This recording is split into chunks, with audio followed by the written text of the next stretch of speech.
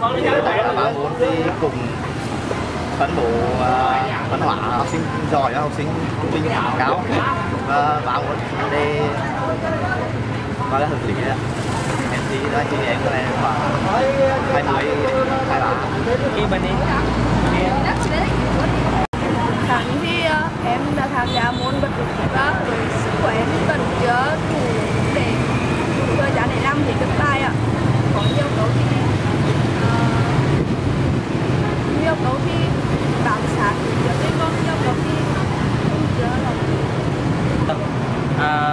Thì sáng đi là có tổ chức thì về bán từ khoa học tự nhiên á.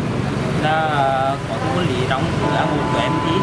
Thì năm nay thì em thấy môn lý thì khá bằng cả cái đề à, khá giống lên bên ngoài nhưng ở bài những tố cuối là con khá khó so với à, về mức độ của học sinh mình. Với à, những câu trên những câu à, cơ bản thì em thấy khá ổn toán thì môn toán bên lý thì môn lý thì em cảm thấy em làm bài khảo tốt về hai môn thì có thể em được đến 15 điểm. À, theo lý thì anh thì em không tự tin môn anh lắm vì môn anh là môn em hiểu nhất.